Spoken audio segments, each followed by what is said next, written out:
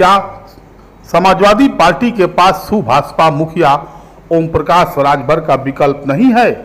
क्या लोकसभा चुनाव में समाजवादी पार्टी को राजभर वोट बैंक में अपनी इस हैसियत का अंदाज़ा मिल जाएगा?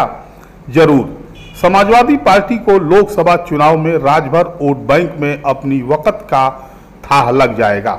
अब समाजवादियों के मन में यह सवाल उठ रहा होगा कि मैं यह कैसे और क्यों कह रहा हूँ? तो बता दूँ कि इस बात का एहसास सपा के राष्ट्रीय महासचिव राम मछल राजभर के गाजीपुर के तीन दिवसीय दौरे ने कराया है। रामचल का यह दौरा इत्तेफाक नहीं था, बल्कि उनका यह दौरा सुभाषपा मुखिया ओम प्रकाश राजभर के एनडीए में जाने के बाद का था। मतलब रामचल का यह दौरा सपा के लिए डैमेज कंट्रोल का था। मगर इस दौरे का नतीजा क्या मिला?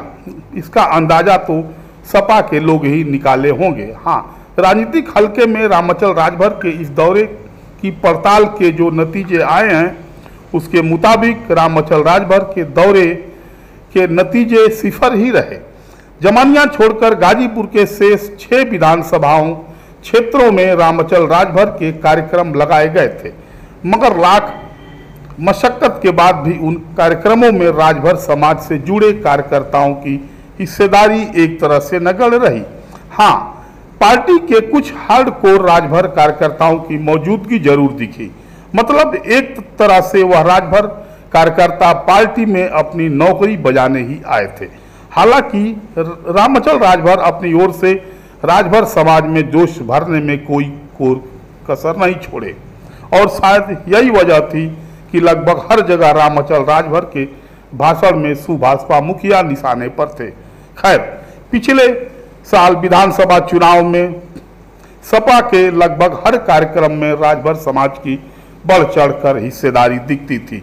ज़ाहिर था, तब सुभाषपा मुखिया सपा के साथ थे। मगर अब वह दूर हो चुके हैं तो नहीं लगता कि लोकसभा चुनाव में महाराजा सुहेल देव की सपा पर कृपा बरसेगी। धन्यवाद।